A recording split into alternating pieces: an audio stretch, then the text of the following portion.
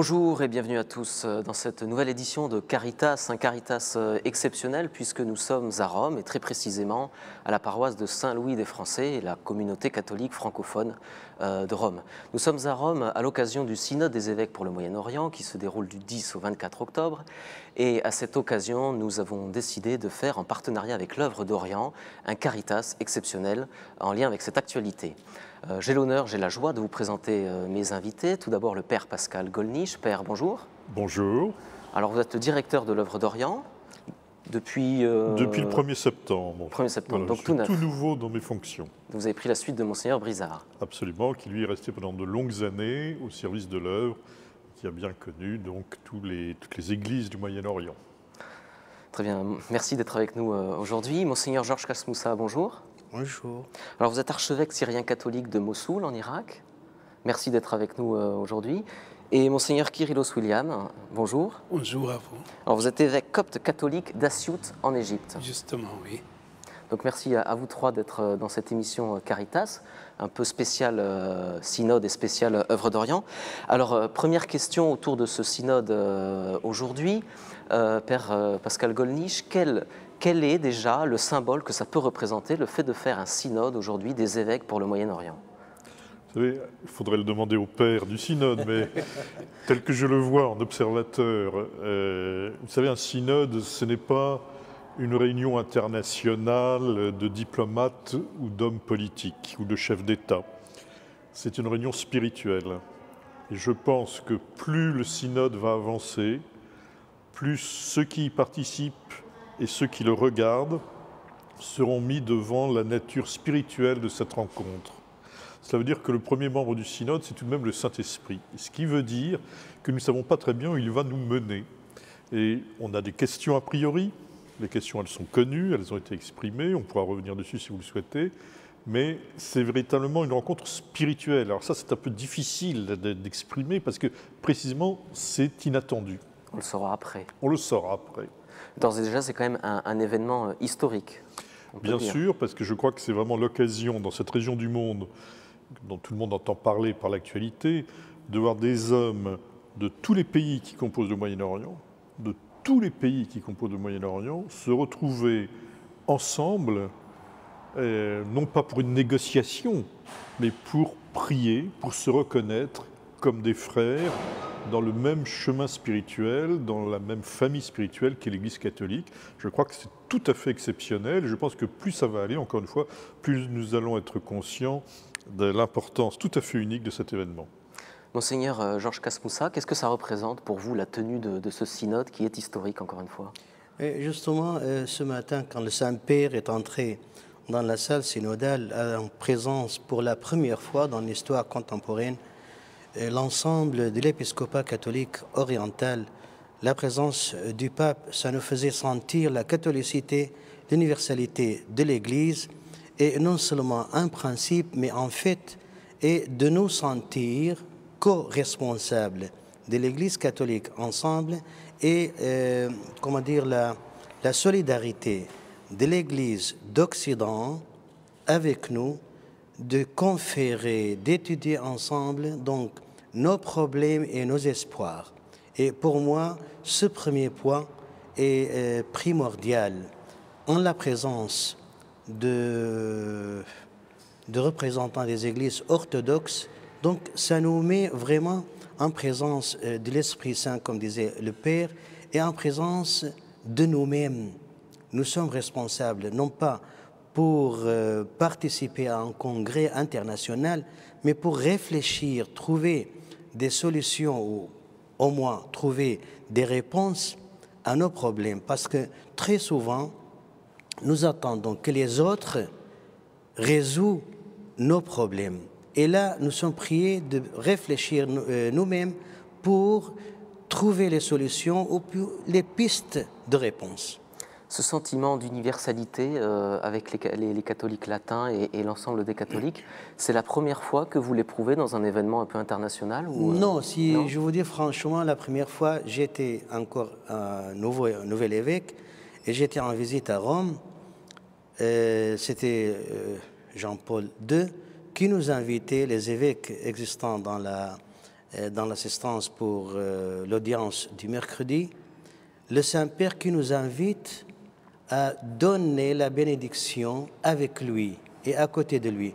Pour moi, un jeune évêque, un nouvel évêque, pour moi, c'était vraiment non seulement un sentiment de, de fierté, mais un sentiment vraiment spirituel, profond d'ecclésiologie. Monseigneur Kyrillos, quel est votre sentiment à vous?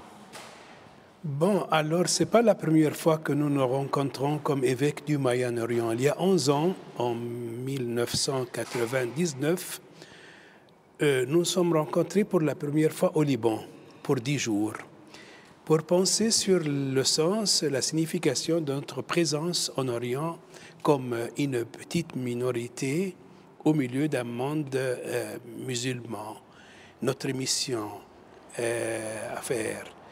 Mais cette fois-ci, euh, c'est tout à fait différent parce que c'est l'Église universelle qui s'occupe de cette question, le sens de la présence des chrétiens au Moyen-Orient, et nous le prenons comme communion et témoignage. Nous ne sommes pas seuls.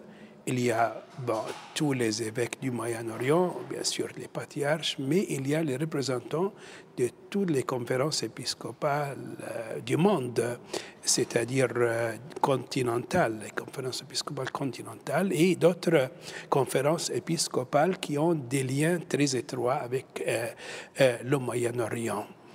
Et nous allons tous ensemble, sous la direction et la guide du Saint-Esprit, euh, euh, réfléchir sur le sens de notre présence, comment réaliser la communion entre nous, une communion plus forte, plus étroite, pour rendre le témoignage. Le Saint-Père, hier, dans son homélie, a dit il n'y a pas de témoignage sans communion. Il faut faire la communion d'abord ensemble et, pour rendre témoignage. Ça, c'est l'enjeu principal de ce synode, la communion pour vous, euh, Monseigneur Kyrios La communion, et oui, pour, euh, entre nous, entre chaque Église, au-dedans de l'Église même, autour du patriarche, et, et entre les Églises, à travers le Conseil des patriarches du Moyen-Orient, et avec nos frères euh, non catholiques, nos frères orthodoxes, et aussi avec les non chrétiens.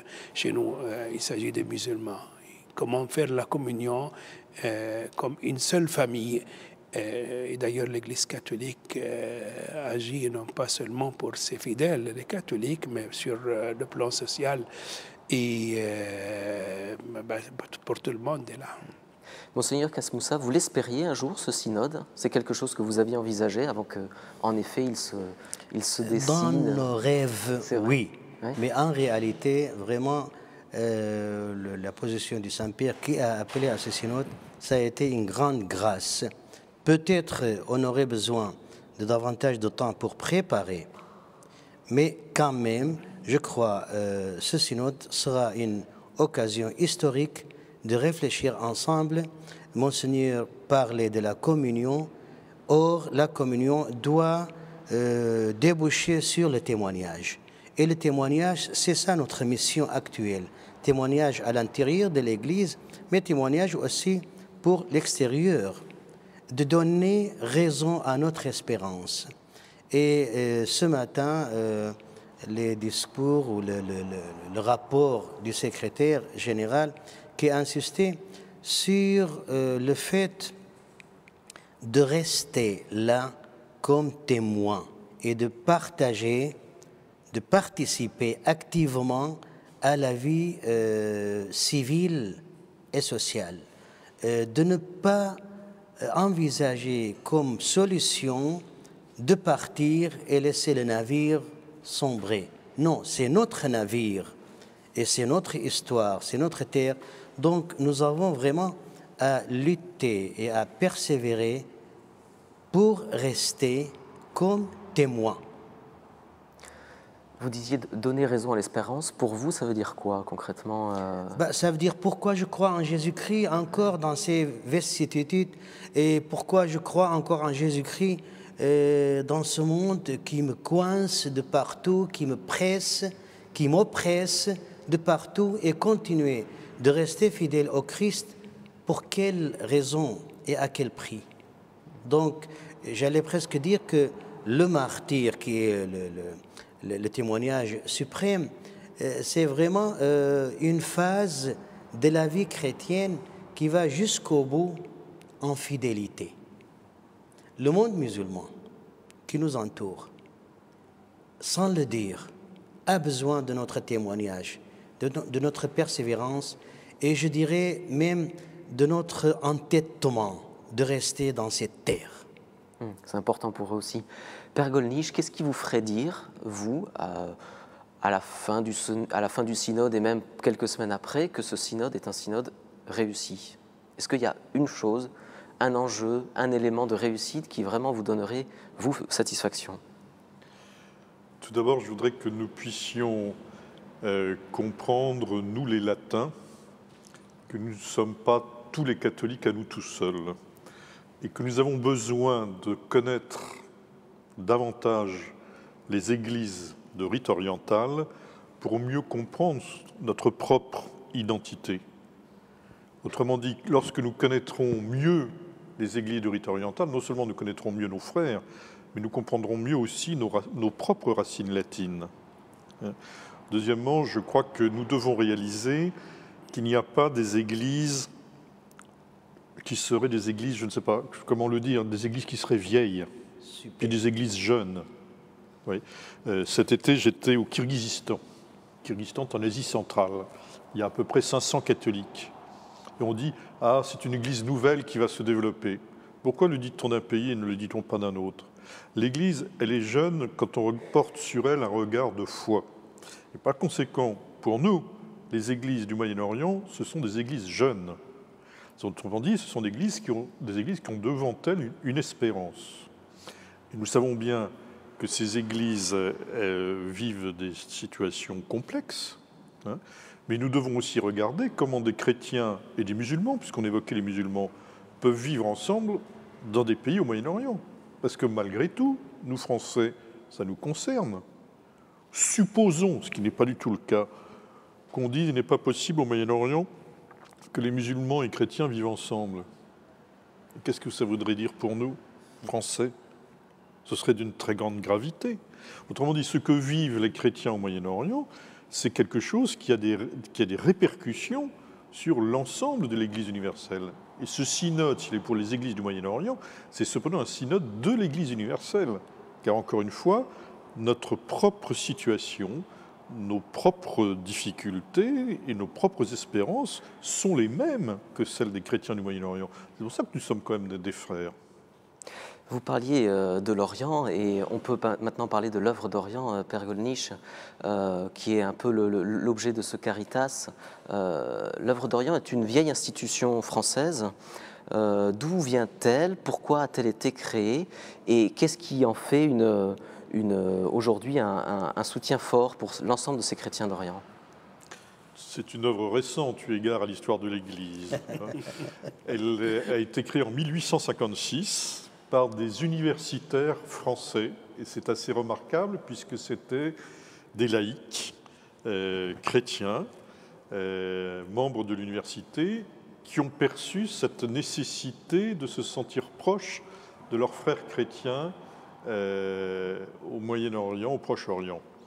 Le premier directeur de cette œuvre est connu parce qu'il a eu une vie importante, un ministère important, c'était le cardinal Lavigerie, qui a été archevêque d'Alger et qui a eu un rôle important justement dans les rapports entre la République française et l'Église catholique. Voilà.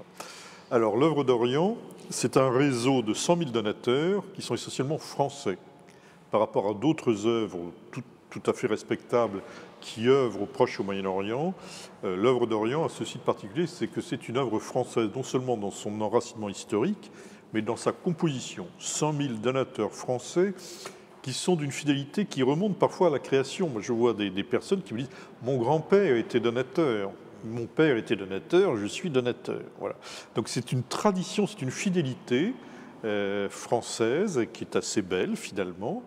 Euh, c'est une œuvre qui veut être au service des églises orientales, donc surtout le Moyen-Orient et le Proche-Orient, même si nous avons aussi des, liens avec le patriarcat latin, bien sûr, de Jérusalem. Notre, désir, c'est vraiment d'aider les églises de rite oriental, ce qui nous amène aussi en Éthiopie, Et ce qui nous amène également en Roumanie, euh, en Ukraine et en Inde, au Kerala, où il y a évidemment de nombreux chrétiens euh, d'église orientale. L'œuvre d'Orient, un réseau de 100 000 donateurs. L'œuvre d'Orient, ce sont 700 projets qui sont soutenus par l'œuvre. Donc pour chaque projet, il y a une demande qui émane généralement d'un évêque ou parfois d'un supérieur religieux et qui est transmis à l'œuvre. Nous essayons de voir si nous pouvons aider et donc nous apportons notre soutien, euh, soutien financier. Sur, quel type de projet, par exemple? Quelques projets concrètement Ce sont des grands projets? Ce sont des petits projets La spécialité de l'œuvre d'Orient, c'est plutôt d'être dans des projets modestes. Il y a d'autres œuvres euh, avec lesquelles nous travaillons, qui sont des, des, organismes tout à fait frères, mais qui ont parfois les, capacités de faire des, projets importants. Euh, l'œuvre d'Orient, ce sont des petits projets, parfois une salle de catéchèse euh, dans un village. voilà. Nos axes de soutien, c'est les écoles, L'œuvre d'Orient, à l'origine, s'appelait l'œuvre des écoles d'Orient. Donc c'est l'axe historique, les écoles, l'instruction. Voilà, c'est le berceau, car ces universitaires qui avaient créé l'œuvre d'Orient pensaient à la fois soutenir euh, les catholiques d'Orient, mais aussi euh, transmettre la culture française. Voilà, c'était un peu leur, idée de départ. L'état d'esprit un peu de l'époque euh, aussi. Voilà. Mais donc nous continuons à soutenir les écoles, qui nous semble, parce que la formation, elle est, elle est essentielle pour tout le monde, et donc en particulier là. Le deuxième axe, c'est la santé. il y a donc des hôpitaux, des dispensaires qui sont soutenus. Et, je veux dire, ces deux axes, euh, j'insiste, on le disait tout à l'heure, c'est n'est pas simplement pour les catholiques euh, du Moyen-Orient, c'est pour tous les chrétiens du Moyen-Orient, et je dirais même pour toutes les populations du Moyen-Orient, même si elles ne sont pas chrétiennes. Et je crois que c'est la grandeur quand même de beaucoup d'œuvres chrétiennes au Moyen-Orient d'être au service de l'ensemble de la population. Et ça, je crois que pour nous, c'est quelque chose qui est tout à fait déterminant. C'est une fidélité à l'Évangile, d'être capable, dans les écoles et dans les dispensaires, dans les hôpitaux, d'être au service de l'ensemble de la population qui en a besoin. Vous parliez de l'instruction, vous parliez de, des hospices, des hôpitaux. Est-ce qu'il y a un autre axe un peu historique que... Bien sûr, nous soutenons bien sûr les, lieux de culte, nous soutenons la formation des prêtres et parfois euh, le, fonctionnement des, communautés chrétiennes quand elles ont besoin d'être aidées. Nous essayons d'être à leur côté. Ça, c'est le soutien que nous apportons. Euh, mais il y a la richesse que nous recevons. Hein, comme je vous l'ai dit, en fréquentant les chrétiens d'Orient, nous recevons leur tradition spirituelle, leur tradition théologique, leur tradition liturgique. Donc euh, nous, nous grandissons à leur côté. Et nous comprenons en quoi nous sommes latins. Ce qui n'est pas toujours évident. Je veux dire, quand on se retrouve entre latins, on s'imagine euh, voilà, qu'on est universel. Mais nous, enrichissons notre propre tradition latine en connaissant davantage les traditions d'Orient. Mais encore, je pense que l'œuvre d'Orient euh, a un gros rôle pour informer les donateurs de ce qui se vit en Orient, et au-delà des donateurs, euh, d'informer l'ensemble des, chrétiens et même des non-chrétiens euh, européens de ce que vivent les chrétiens d'Orient, d'informer sur leur joie, parce que tout de même, je me tourne euh, vers ses représentants. Euh, il y a des joies d'être chrétien en Orient. Vous savez, parfois, moi, je vois des, paroisses au Moyen-Orient. Euh, je suis très heureux, je, suis curé de paroisse à Paris, je suis très heureux de ma paroisse, mais parfois, je pense qu'il y a des curés français qui seraient heureux de se retrouver des paroisses aussi dynamiques euh, que les, les, les du Moyen-Orient. Donc c'est important aussi d'informer que ce n'est pas toujours euh, tout difficile, très... Absolument. Je vous assure qu'il y a des paroisses au Moyen-Orient, il y a des curés français qui seraient heureux d'avoir des paroisses aussi dynamiques qu'au Moyen-Orient. Monseigneur Kasmoussa, euh, quel type d'aide vous donne l'œuvre d'Orient dans votre diocèse pour votre évêché? Est-ce qu'il y a des projets concrets que vous pouvez donner? Justement, ce que disait le Père, donc c'est une vue euh, général sur l'aide que pourrait ou que fait l'œuvre d'Orient. Pour nous-mêmes, dans notre diocèse, l'œuvre d'Orient euh, nous a soutenus justement pour euh, la construction d'un centre catéchétique Saint-Paul que Monseigneur Brizard a visité plusieurs fois, qui est comme une pépinière d'activités pastoral et missionnaire. Et aussi, l'œuvre d'Orient nous a aidés pour euh, la construction du nouveau séminaire. Euh, il y a eu donc euh, le bâtiment, il y a l'ameublement, il y a l'achèvement de la bibliothèque, etc. Donc, ce sont des, petites œuvres, mais avec l'aide d'autres œuvres de l'Église universelle. Et ici, je voudrais insister non pas sur le quantitatif, mais sur l'idée elle-même de solidarité entre Églises sœurs. Dès le début de l'Église, il y a Saint Paul qui a été le premier fondateur de l'œuvre d'Orient. Euh, c'est lui qui collectait euh, des aides des églises de Cappadoce, de Turquie actuelle, de la Grèce, pour les pauvres de Jérusalem. Bon, Jérusalem reste pauvre aujourd'hui, malgré tout. Mais c'est cette aide donc de solidarité ecclésiale où on se sent soutenu matériellement, mais le soutien spirituel est beaucoup plus profond et beaucoup plus essentiel, je dirais, quand nous nous sentons soutenus par l'Église catholique à travers le monde la France elle-même, nous sommes dans un établissement français, elle a été toujours liée à l'Église d'Orient en général. Et donc cette tradition culturelle et ecclésiale qui continue à travers euh, les œuvres caritatives et à travers aussi les œuvres d'éducation, les séminaires, moi, j'ai été formé dans un séminaire français tenu par les pères dominicains français. Euh, si j'ai appris quelque chose en dehors de, l'arabe, c'est bien euh, grâce à mes professeurs. Non seulement euh, ils m'ont donné une langue nouvelle, mais ils, m'ont donné une ouverture d'esprit et une universalité de, de vue sur l'Église tout entière. Donc, je voudrais insister justement sur ce point qui nous est cher. Je peux être refusé pour une demande d'aide, mais la manière elle-même d'être refusé me fait plaisir. Parce Ce qui est important, c'est qu'il n'y a pas simplement l'aide matérielle, voilà, c'est le lien que vous avez exactement, exactement. universel.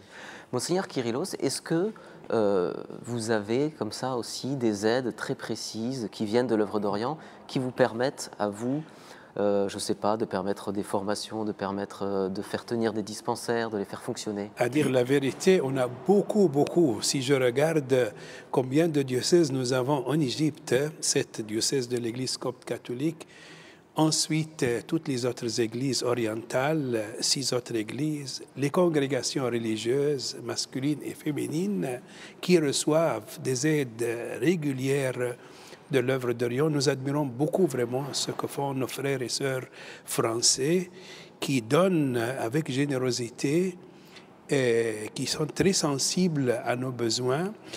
Euh, bon, ces aides euh, arrive pour plusieurs types de projets. C'est surtout la pastorale, la formation catéchétique euh, et l'instruction. Beaucoup d'écoles euh, ont été construites grâce aux aides de l'œuvre d'Orient. la santé et, tous les autres secteurs de la vie sociale. Dans nos écoles, nous avons 180 écoles catholiques en Égypte avec 150 000 étudiants, dont la moitié sont des musulmans. Alors c'est un grand témoignage que nous offrons à la société, une grande ouverture et beaucoup euh, des élèves qui ont commencé dans nos écoles arrivent maintenant aussi à des postes très supérieurs. Ils seront très ouverts à nos difficultés, à nos besoins. Euh, alors c'est une double aide que, que, fait les écoles et grâce aux aides qui nous arrivent euh, de l'œuvre d'Orient et d'autres organismes de solidarité interecclésiale et aussi euh, dans le pour ce qui concerne la santé aussi, c'est ouvert à tout le monde. Des dispensaires des religieuses qui sont visités par euh, plus de musulmans que de chrétiens parce que c'est la proportion de la population. Quand nous sommes une petite minorité, c'est seulement sur le, champ pastoral. Euh, c'est directement pour nos fidèles, mais tout le reste est pour tout le monde, pour tous nos frères et sœurs qui ne sont pas catholiques, qui ne sont pas chrétiens. Est-ce que c'est important justement que les chrétiens soient présents sur ces domaines-là, l'instruction, le dispensaire Bien sûr, c'est très estimé, vraiment, c'est très estimé par les autorités. Justement, hier, on a été chez notre ambassadrice auprès du Vatican qui nous a invités. Il parlait de tous le les bienfaits que l'Église catholique en Égypte, malgré le nombre, nombre très limité euh, que fait. Il a dit c'est beaucoup, ça super beaucoup. Votre nombre de, de, catholiques est très senti par les autorités euh, civiles. Père Golnisch, euh, à travers cette aide matérielle, il y a tout un réseau qui euh, apprend à se connaître euh, dans le monde entier. des gens qui, alors là, ça lie particulièrement la France aux, églises orientales. Mais qu'est-ce que, qu'est-ce que ça génère sur le long terme, ce réseau qui existe quand même depuis 150 ans? Je crois qu'il y aurait peut-être des pistes à, développer dans ce domaine. Par exemple, je pense que les, les chrétiens, euh, mettons d'Europe par exemple, euh, pourraient aller plus souvent au Moyen-Orient rencontrer leurs frères. Euh, oui, je vois pas mal de touristes, par exemple, qui vont en Égypte. J'en vois un, peu moins en Irak, mais ça viendra peut-être. eh bien, quand, quand des chrétiens de France vont en Égypte voir les pyramides, etc., ce qui est très beau, je l'ai fait aussi, pourquoi ne vont-ils pas voir davantage les chrétiens dans ce pays? Je pense que euh, si nous arrivions à permettre un contact plus étroit euh, des chrétiens latins avec les chrétiens orientaux, non pas par la médiation de, de l'œuvre, enfin grâce à l'œuvre si vous voulez, mais en contact direct, je dirais presque de paroisse à paroisse, je pense que ce serait d'une grande richesse mutuelle. Encore une fois, si euh, l'œuvre d'Orient apporte un soutien économique aux communautés euh, du Moyen-Orient, l'aide, est mutuel. C'est-à-dire que nous recevons aussi de, l'aide spirituelle de ces églises. Parce que ce sont des églises qui sont fidèles. Ce sont des églises qui ont une expérience dont elles doivent pouvoir nous parler, dont nous devons pouvoir nous inspirer. Ce sont des églises qui sont fortes dans leur dans leur présence, euh, euh, parfois aux plus pauvres, parfois aux familles, parfois euh, dans les relations avec les chrétiens non catholiques. Il y a, parfois un, un qui est, très fort, qui, qui, doit nous parler. Elles sont évidemment fortes dans leur tradition spirituelle, liturgique, théologique. Donc tout cela, c'est quelque chose que nous recevons. Et donc plus les chrétiens de latin iront sur place, il faut aller sur place, il faut aller à la rencontre de ses frères. On peut y aller, pourquoi n'y allons-nous pas plus? Alors, encore une fois, en Irak, c'est un peu difficile en ce moment, mais on peut aller en Syrie, par exemple.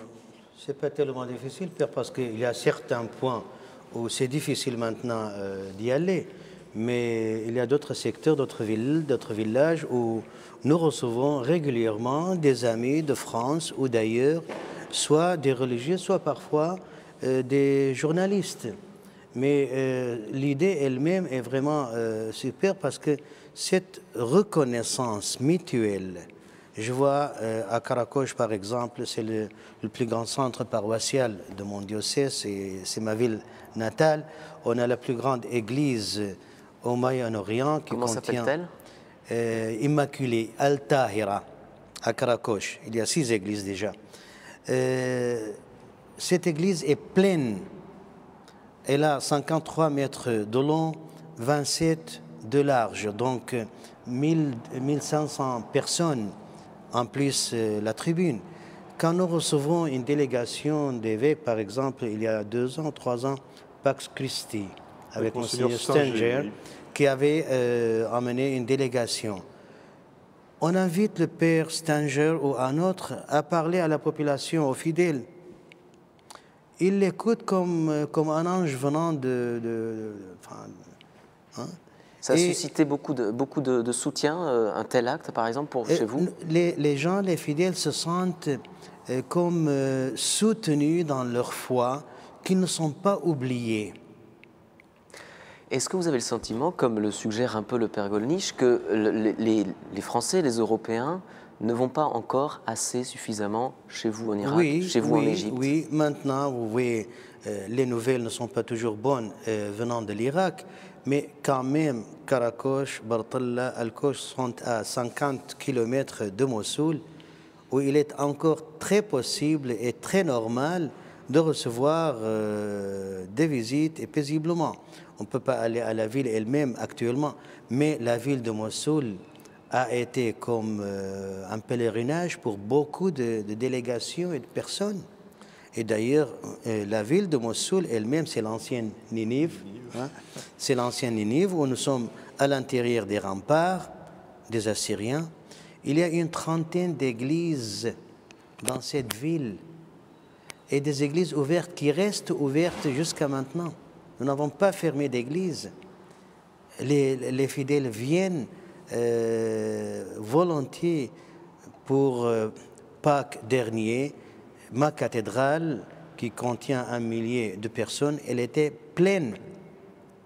Et nous-mêmes, nous étions un peu, comment dire, euh, nous n'attendions pas ce nombre, malgré, malgré le, tous les faits, toute la violence qui se fait dans la ville. Et on ne doit pas dire que nous sommes au bout d'une affaire. La vie est ondulante. Il y a des hauts et des bas. Actuellement, nous avons des bas. Mais justement, je, rentre à l'espérance. Eh Il faut toujours avoir l'espoir que les choses aillent mieux c'est là que nous avons beaucoup de travail à faire qui n'est pas facile. Ce n'est pas facile de dire à un père de famille, vous devez rester pour témoigner. Il va me, répondre tout de suite, vous serez garant de ma famille, de mes enfants. Vous leur dites ça, par exemple, à un père de famille? On le leur dit, mais on ne peut plus, euh, le, comment dire, euh, avec force de témoignage, lui dire non, ne partez pas. Et hein? comment ils réagissent? Ils vous écoutent? Ils essayent de rester ou... Euh, il y a pas mal de familles, pas mal de personnes qui restent justement avec ténacité, mais quand ils sont menacés directement alors par euh, cellulaire ou par euh, une demande de rançon, etc., alors là, vous voyez, les défenses tombent. Monseigneur Kyrillos, est-ce que vous, la, visite de Français ou de, catholiques dans le monde entier est un soutien pour vous moral hein? Bien sûr. Euh, j'ai eu beaucoup de visites de Français, d'Allemands, d'Italiens euh, chez moi à Siout. Euh, malgré qu'il n'y a pas beaucoup à voir, ils viennent seulement pour vivre avec nous, pour nous connaître mieux. D'ailleurs, l'œuvre de Lyon a organisé une fois un voyage pour plusieurs personnes pour les faire connaître un peu les lieux où ils, ils donnent leur donation comme ça. Et ça nous encourage beaucoup. Ça arrive que nous avions des célébrations. Bon, s'il y a des, prêtres, ils célèbrent avec nous notre liturgie. Ils récitent quelques prières en leur langue, le français, l'allemand, l'italien. Et ils parlent aux fidèles. Ça les encourage vraiment beaucoup, beaucoup. C'est pourquoi nous souhaitons euh, que plus de visites de nos frères français, de nos frères européens, euh, pour euh, encourager un peu nos fidèles qui quelquefois sont abattus à cause des difficultés qui leur viennent de, tout part et, et pensent à l'immigration, comme disait Monseigneur Casbo. Nous essayons de les déconseiller, de les dire non, restez mais justement, nous ne pouvons pas les obliger. C'est à eux de prendre la décision. Euh, parce qu'on ne veut pas vider euh, nos pays, nos, églises des éléments les plus valables. Quoi. Et d'un autre côté, c'est difficile de leur dire de rester alors qu'ils peut-être certains euh, bah, sont en danger. Il faut assurer la paix et les droits. Ce sont deux choses très difficiles maintenant. Parce que tout ne dépend pas que de nous. Il y a aussi ce qui dépend du gouvernement ou des gouvernements à assurer la paix, à assurer donc euh, les droits aussi de ces minorités. les minorités sont toujours vulnérables, surtout les minorités chrétiennes, parce qu'on n'a pas de milice, on ne va pas euh, avoir euh, recours à la force, aux, armes. D'ailleurs, c'est inutile. Les armes n'ont jamais résolu de, de problème. Les guerres ont toujours été, pour résoudre les problèmes, ils en ajoutent. Et ils en ajoutent même d'inextricables. Hein. Euh, donc, nous aurions voulu que nos, amis de France, d'Italie, d'Europe, qu'ils ne négocient pas seulement les projets économiques et politiques avec nos gouvernements, qu'ils aient aussi une parole humaine et euh, qu'ils les euh, pressent à euh, valoriser leurs déclarations sur la démocratie. La démocratie n'est pas un discours, c'est une vie, c'est une pratique. Et là, il y a beaucoup à faire. Si les chrétiens se sentent vraiment chez eux, avec leurs droits, avec leur sécurité, bah, je peux vous dire que 80% des chrétiens irakiens ne voulaient pas partir. Je, euh, pense à ceux qui ont déjà, euh, sont déjà partis. Ils sont partis malgré eux. Quand ils ont été menacés, ou un membre de, la famille a été tué, ou euh, il n'y a plus de sécurité dans la, dans la ville. Et c'est malgré eux. Et j'ai été visiter pas mal de pays à l'étranger. Le cœur est attaché à l'Irak. J'ai été vraiment très touché de voir des jeunes gens irakiens à Athènes avec un pendatif, la carte de l'Irak en or. Un petit pendatif comme une médaille, acheté chez l'orfèvre, la carte de l'Irak. Hein? Ils sont très attachés seulement, voilà, ça fait dix ans, avec la, venue des Américains depuis 2003, on n'a que malheur. Pas de sécurité, pas de droit. Les politiciens sont préoccupés à capter les chaises et les prérogatives politiques. Et le peuple est là alors euh, à, la merci des événements. Père Golnisch, euh, Monseigneur Kasmoussa et Monseigneur Kyrillos parlent un peu de cette visitation hein, des Français, des Européens, enfin des, chrétiens du monde entier. On entend aussi un peu derrière les mots de, de Monseigneur les mots de démocratie, de liberté religieuse. Qu'est-ce que l'œuvre d'Orient, pour aujourd'hui et pour demain, peut faire sur ces deux axes Développer cette visitation des Français, des Européens, euh, dans ces pays où, vivent des chrétiens d'Orient, et éventuellement euh, essayer de faire respecter la liberté religieuse là où elle est menacée?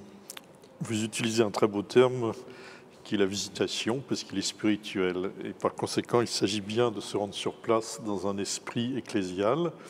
Et j'ai quelques projets. Je voudrais susciter, par exemple, des, pèlerinages à pied, parce que j'ai un certain goût pour les pèlerinages à pied, euh, avec des jeunes adultes euh, de pays latins et des jeunes adultes chrétiens du Moyen-Orient l'œuvre d'Orient se veut aux, côtés des chrétiens d'Orient pour faire connaître leur vie, les choses heureuses, les choses d'espérance, le dynamisme des paroisses, le, dynamisme des prêtres, le, nombre de séminaristes. Il y a parfois plus de séminaristes dans certains pays du Moyen-Orient qu'il y en a en France, proportionnellement. Donc euh, tout cela, nous devons le connaître. Mais nous sommes, devons également être aux côtés des chrétiens d'Orient des choses difficiles qui sont vécues. Et par conséquent, je souhaite que l'œuvre d'Orient ne ménage pas ses efforts grâce à un service de communication qui est de très haut point euh, pour faire connaître les choses difficiles. Autrement dit, nous voulons que lorsque une communauté chrétienne euh, au Moyen-Orient vit des choses difficiles, on sache qu'en Occident, ça se saura. Voilà.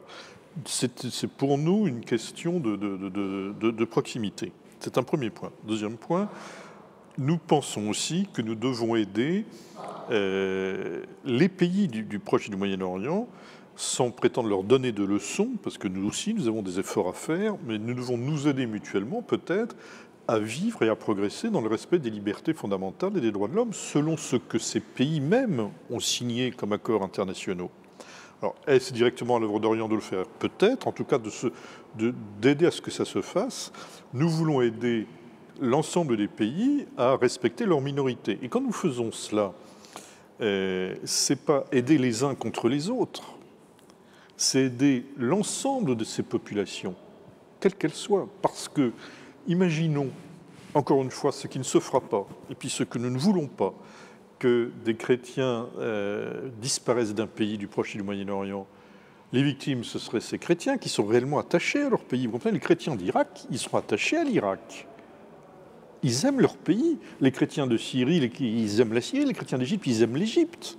Ils se sentent pleinement fils de ces pays-là. Donc pour eux, les quitter, c'est un drame. Mais ce serait également un drame pour les pays en question. Imaginons qu'il n'y ait plus de chrétiens euh, en Égypte, en Syrie, en Irak. Ce serait un drame pour ces pays-là, parce qu'ils perdraient une richesse de leur population qui permet encore une fois de favoriser l'enseignement, de favoriser la santé et de favoriser la paix entre les personnes et de favoriser euh, des relations avec l'Occident. Donc ce serait un drame pour cette région. C'est pas simplement, vous voyez, euh, on n'est pas simplement en se disant euh, l'Église perdrait, je ne sais pas, des correspondants ou des troupes dans une région du monde. Hein. L'Église n'est pas au service de l'Église. L'Église, elle est au service du monde et par conséquent, il y aurait une région du monde qui s'appauvrirait considérablement. Donc, quand nous voulons aider les chrétiens d'Orient, nous n'aidons pas les chrétiens d'Orient contre je ne sais qui, en tout cas pas contre les pays dans lesquels ils se trouvent, car c'est rendre service à ces pays que les chrétiens puissent jouir d'une pleine citoyenneté. Donc nous estimons que les libertés fondamentales ne sont pas séparables, elles sont vraies pour l'Europe, elles sont vraies pour l'Amérique du Nord et l'Amérique du Sud, elles sont vraies en Chine, l'actualité euh, du prix Nobel le montre, et elles sont vraies au Proche et au Moyen-Orient. Ce n'est pas séparable. Et deuxièmement, nous devons euh, attirer l'attention des agents économiques sur la possibilité d'aider euh, les familles, d'aider peut-être des micro-entreprises, comme cela se fait en Inde, à se développer car je pense que les familles ont besoin d'avoir des confiances de pleine citoyenneté dans leur pays, pleine sécurité, ça va de soi, de pleine citoyenneté et aussi d'un avenir économique, parce qu'il faut aussi pouvoir vivre. Et comment vous voulez favoriser cet avenir économique? Par quel biais? Par quel euh, Alors l'œuvre d'Orient comme telle n'a pas forcément euh, d'elle-même mission à, agir sur le plan économique, mais je sais qu'il y a des partenaires économiques. Par exemple, il y a des organismes chrétiens de, de chefs d'entreprise en France ou en Europe ou dans le monde, que nous voudrions pouvoir approcher euh, des organismes professionnels, des organismes de dirigeants, même s'ils ne sont pas d'inspiration chrétienne, mais ils sont des organismes de bonne volonté, pour leur dire il y a aussi là peut-être des opportunités euh, valides économiquement, mais aussi qui peuvent soutenir euh, ces populations pour qu'elles aient aussi, puisque on a évoqué le cas du père de famille. Le père de famille ne, ne, restera pas au Moyen-Orient uniquement parce qu'il a une belle école, un beau dispensaire, une belle église. Donc il doit avoir aussi l'assurance de la sécurité, de la citoyenneté et de pouvoir nourrir sa famille. Voilà. Monseigneur Kyrillos, euh, quelle est aujourd'hui la situation économique d'une famille euh, de votre diocèse, par exemple, de votre région? Est-ce qu'elle est bonne Est-ce qu'elle est mauvaise Est-ce qu'elle est difficile Très difficile, vraiment, il faut le dire. Donc c'est important ce que dit le Père Golnisch, euh, euh, le pouvoir, enfin, l'économie de ces chrétiens euh, qui vivent parfois dans la difficulté. Quoi. Et oui, vraiment, on n'arrive pas à comprendre comment une famille peut se nourrir avec le, salaire qu'on donne maintenant, actuellement chez nous en Égypte et les prix qui augmentent terriblement chaque jour. Bon, l'Église de sa part essaye de faire le travail de développement euh, grâce aussi à l'aide de quelques organismes, d'aider les gens à, commencer des petits projets pour avoir euh, des revenus, ou bien s'ils ont des petits revenus, des revenus modestes, de les améliorer un peu. Euh, mais c'est une goutte dans la mer, c'est très peu il faut que tous euh, collaborent. Et d'abord, c'est le devoir du gouvernement, ce n'est pas le devoir de l'Église. Mais l'Église, de sa part, essaye de faire. Et dans chaque diocèse chez nous, il y a un bureau pour le développement à côté des organisations un peu nationales comme la Caritas, l'Association de la Haute-Égypte, et, chacun de son côté essaye de faire quelques euh, dans un village ou l'autre quelques projets pour les gens, pour euh, des projets économiques afin qu'ils aient des revenus. Monseigneur Kasmoussa, euh, sur le même plan, euh, les gens, les familles chrétiennes que vous connaissez en Irak, elles sont euh, d'une situation économique difficile, une situation sociale difficile, c'est variable? Il faut dire que du point de vue économique en Irak, on est mieux situé. Mais voilà, il y a, il y a un décalage entre différentes couches de la population. ce que nous aurions à marquer dans ce secteur, c'est les maladies, les enfants, le loyer. Beaucoup de familles ont besoin d'être soutenues pour le loyer. J'avais entrepris euh, de mini-projets dans ce genre-là de soutenir euh, certaines familles quand elles n'ont pas à payer le loyer. Parce que s'ils ont à payer le loyer, il y a aussi les docteurs à payer. Il y a la nourriture à fournir. Donc, cette couche euh, basse de la population a besoin d'être soutenue pour euh, ces projets. De grandes opérations chirurgicales, il y a beaucoup de familles qui ne peuvent pas les payer. Les prix montent. Alors, depuis 1991, donc depuis l'embargo qui a été imposé à l'Irak, j'avais fait appel à des amis personnels en France, aux États-Unis, en Belgique, qui m'avaient envoyé euh, bon, de petites sommes. Et euh, je donnais à chaque famille une toute petite somme à ce genre-là. Jusqu'à maintenant, cette caisse d'entraide continue, elle n'a jamais tari, mais voilà, c'est pour des cas particuliers. J'avais demandé euh, l'aide de l'œuvre d'Orient pour monter un dispensaire pour un ensemble d'habitations 10 000 dollars euh, de ce genre-là, c'est toujours utile, mais pour soutenir des cas particuliers. Chez nous, l'Église euh, n'a pas de bureau d'emploi, n'a pas de bureau de développement. Sur le plan d'organisation, nous avons besoin de, beaucoup de, comment dire, d'activités. Mais sur le plan euh, particulier, nous avons donc les comités de bienfaisance, il y a la Caritas, Caritas Irak, et il y a alors des caisses paroissiales ou euh, une entraide euh, sociale comme celle que je décrivais exactement. Il y a euh, la fondation Raoul Folro de Paris qui m'aide dans ce secteur chaque année. C'est dans ce genre-là de mini-projets euh, là, je dirais, dans les villages et même dans les villes, on a besoin de cela.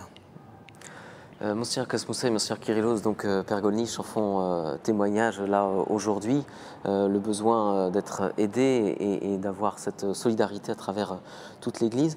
Comment l'œuvre d'Orient aujourd'hui peut essayer de trouver de, de, nouveaux donateurs Vous avez parlé de ces donateurs qui existent aujourd'hui, mais quels seraient éventuellement les nouveaux donateurs ou les nouveaux types de donateurs que vous aimeriez, vous, pouvoir sensibiliser à des projets dont on a parlé euh, au cours de cette émission? Nous aimerions avoir des donateurs comme ceux que nous avons déjà, qui comprennent d'abord que ce n'est pas simplement un chèque, c'est un engagement spirituel. Voilà. voilà. Et d'ailleurs, depuis que j'ai pris mes fonctions, je reçois beaucoup de courriers où il y a des chèques, mais il y a souvent aussi une lettre, un mot, une parole qui montre cet engagement spirituel. Je voudrais que les donateurs comprennent qu'ils ont aussi une mission de faire connaître l'Orient chrétien autour d'eux, là où ils sont, en France. Je voudrais euh, que nous puissions avoir un groupe euh, de l'œuvre d'Orient, jeunes chrétiens d'Orient, euh, aux Journées mondiales de la jeunesse pour qu'ils s'inscrivent dans ce grand rassemblement de la jeunesse. Je voudrais qu'il puisse y avoir des donateurs qui suscitent au niveau de leur paroisse une sorte de jumelage avec des paroisses du Moyen-Orient si les évêques y consentent. Je voudrais pouvoir faire euh, des, des opérations sur place, c'est-à-dire que des donateurs viennent voir exactement ce que l'on fait de leur argent je voudrais souligner que parfois une somme modeste Bien sûr, on souhaiterait qu'elle soit plus importante, mais une somme modeste aux yeux d'un Français, même si nous ne sommes pas le pays le plus riche du monde, mais enfin, euh, une somme modeste pour des Français, parfois peut faire une action considérable quand elles sont remises aux mains des chrétiens d'Orient. Et euh, nous devons comprendre l'importance d'un don modeste. Alors donc, euh, importance d'un donateur, quel que soit son don. Euh, justement, hein, c'est le, moment où, on peut lancer cet appel au, don. On peut donner d'ailleurs tout simplement les contacts hein, pour, si vous le souhaitez, vous participer à, à cette grande œuvre qu'est l'œuvre d'Orient. il suffit d'écrire à l'œuvre d'Orient, 20 rue du Regard, 75 006 Paris 20 rue du Regard, 75 006 Paris, et sinon un site internet www.oeuvre-orient.fr, je répète, www.oeuvre-orient.fr. Le 20, novembre, le 20 novembre, nous serons à Marseille à 17h pour une messe en rite oriental. Très bien, et eh bien l'invitation est lancée. Merci beaucoup, euh, Père Golnisch, d'avoir participé à cette émission. Hein. Je rappelle que vous êtes le directeur de l'œuvre d'Orient. Merci beaucoup, euh, Monseigneur Kasmoussa aussi, d'avoir participé à, cette émission. Merci beaucoup, euh, Monseigneur Kyrillos, d'avoir participé à cette émission. Euh, je rappelle que nous étions donc euh, à Rome, euh, exactement à la paroisse Saint-Louis des Français, qui nous accueille tout au long de ce synode pour des émissions réalisées par KTO, qu'il s'agisse de Caritas, du Parlons-en ou d'Église du Monde. Merci, à très bientôt et à la prochaine fois pour une nouvelle édition de Caritas.